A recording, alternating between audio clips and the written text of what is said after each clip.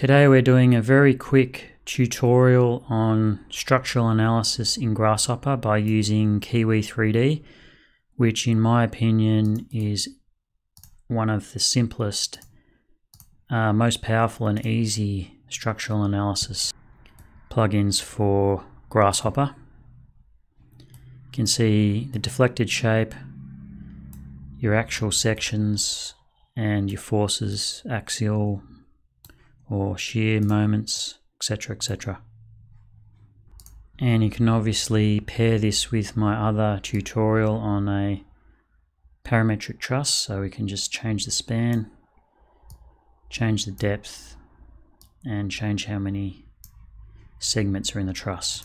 And we can just quickly get new results.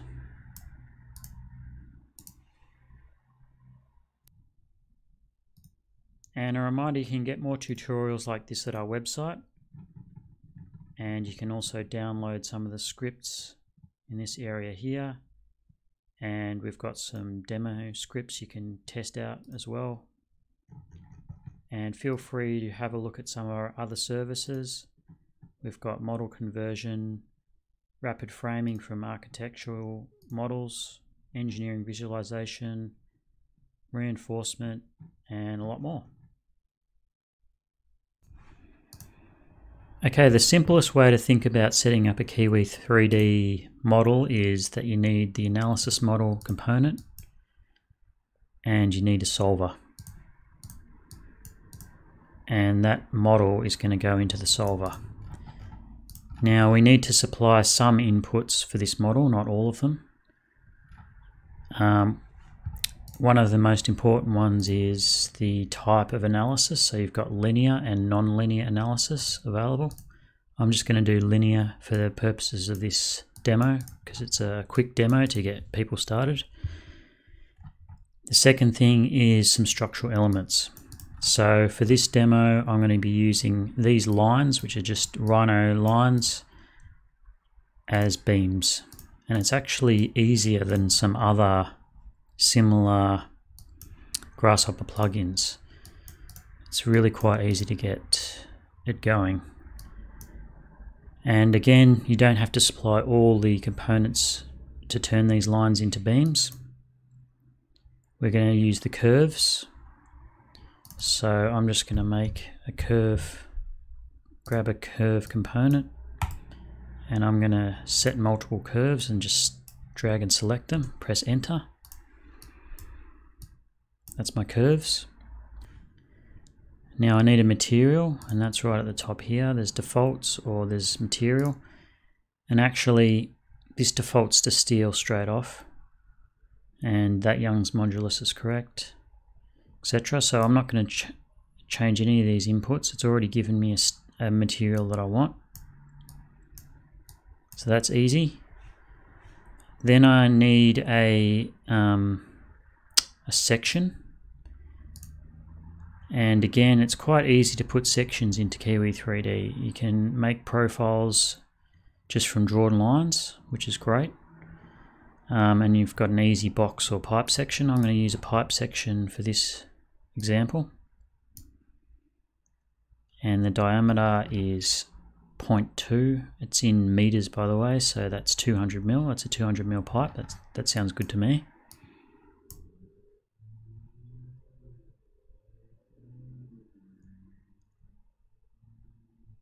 Now bear in mind that this is a solid section which is interesting so if you wanted to make it a hollow pipe you'd just input that little d. Now the curve refinement is something you need. That's because it's there's two sort of modes of Kiwi 3D. One is um, lines and the others is surfaces. So we're using lines to represent beams here. We're not doing a um, finite element analysis of a floor plate or something like that. So we're going to use the curve refinement. And that's actually all you need as a minimum to make a beam. You can you can obviously refine that down with a lot of other you can put pre-stress and all sorts of stuff in here so that's great. Now I would recommend in the curve refinement And that's what makes Kiwi 3D a little bit different to other programs is it will split up curves based on this curve refinement for you. Uh, so its minimum elements is 5. I'm actually just going to make that to 6 because that gives us an even number, which I found gives a slightly better looking result in some circumstances. But um, just changing this number higher means you've got more uh, refinement in your analysis. So you'll have a lot more points that are um, checked along the curves. Okay, so that's our element, our beam elements. Now we need some supports. Supports are over here. I'm going to use support point. And I'm just going to grab a point from Grasshopper. I'm going to set one point there. And that's actually all you need. And just copy and paste the second point.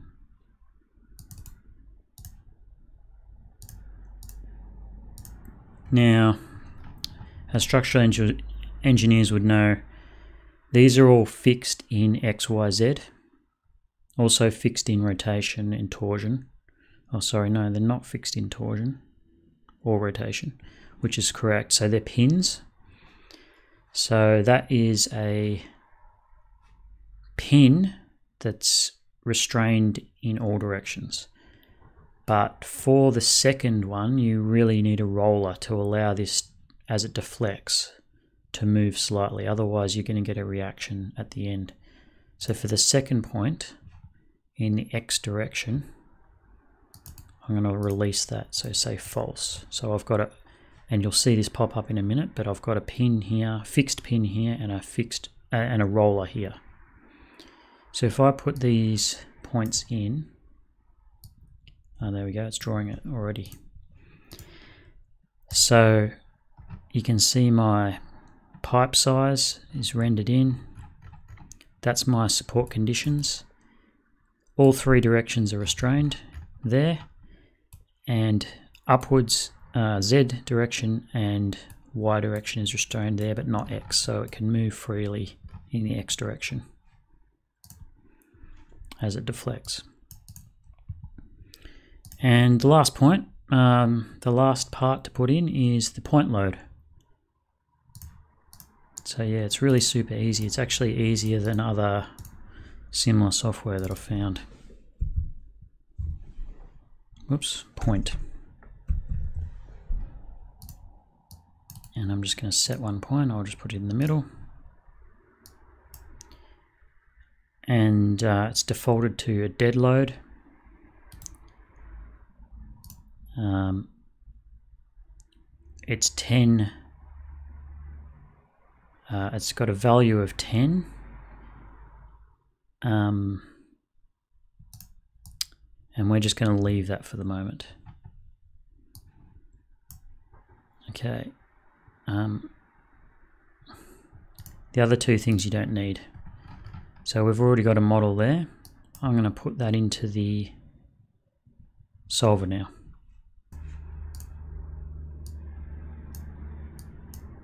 Okay, so unlike some Grasshopper components, this doesn't run continuously. So you have to tell this boolean function or run, um, send it a true signal to run the analysis. So there's a couple of ways to do that. An easy way is to use this thing, this button component in Grasshopper. So when you press that, it just makes um, it, it becomes true when you press it. So if I press that, it'll run the analysis, um, which is quite easy way of doing it, and probably the best way to do it because you don't want it continuously running um, if it's a complicated model. Okay, so we've solved our problem. We don't have any errors. So now we want to have a look at the results. So the easiest one is deformed model. I just put my solved model into it and you can see the deflection of this truss already. Now I'm just going to scale this up a little bit so it's easier to see. There you can see how the um, truss is deflecting under that point load in the middle.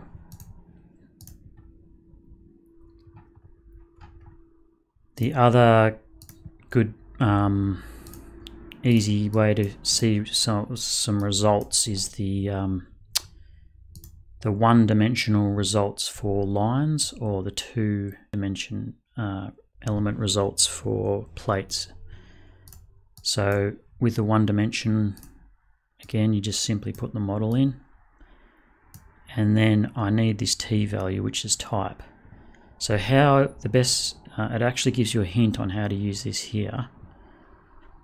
Um, it just uses numbers, but it will feed back into a component in Grasshopper and that's value list, which is here, value list.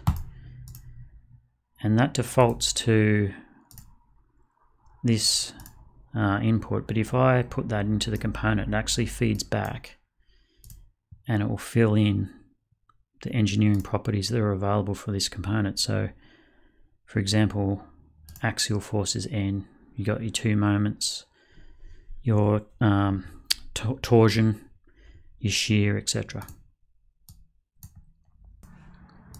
And the last thing you need to do is supply a direction to display the results. So I've done Z in the past. So this is just a Z vector. And you can see it's showing them in the Z direction. And I'm just going to scale that down a bit say 0.1 into scale. So that's a little bit messy. You might want to try um, the Y direction. That might be a bit clearer. you can see compression and tension. And this is uh, obviously the end value, but you can, uh, well, there shouldn't be moments in this as a truss. Um, but you can see uh, shears and other other um, other results from the analysis. And you might say, what are the values? Well, that's available in these outputs here, which are just the raw numbers, or you can use an inbuilt Grasshopper um, legend. So it's under display in Grasshopper and it's called Legend. And you can see that these, these two values here, C and T, um, fit into that. So you can see that what these values are. So the green is minus 20, the red is 27. And the last thing from uh, results is the support forces. Now there is something that doesn't make 100% sense to me at the moment with Kiwi 3D and that is why this force is negative. It may be just the way the algorithm rhythm works but um, if I flatten this for example it's telling me that one is down 20 uh, 2000 and one is up 2000 whereas in my mind if you've got a point force down you should have two positive values rather than one positive one negative so that's how you see force results, but for some reason, one of them is, in my mind, the wrong way. Around. I don't know if that's a bug with it at the moment or it's just the way the algorithm works and it's just the way you got to think about it. But um, if anyone knows, let me know in the comments. But as you can see, it's quite easy. So, you know, you can easily set a different point for this load, run the analysis again, and you'll get a different deflected shape and your axial actions are in different locations. So overall, it's really uh, very simple, clean, uh, and easy to use structural analysis plugin for Grasshopper, in my opinion. Thanks for watching this structured parametrics video. Leave a like or subscribe if you found this useful, and we'll see you in the next one.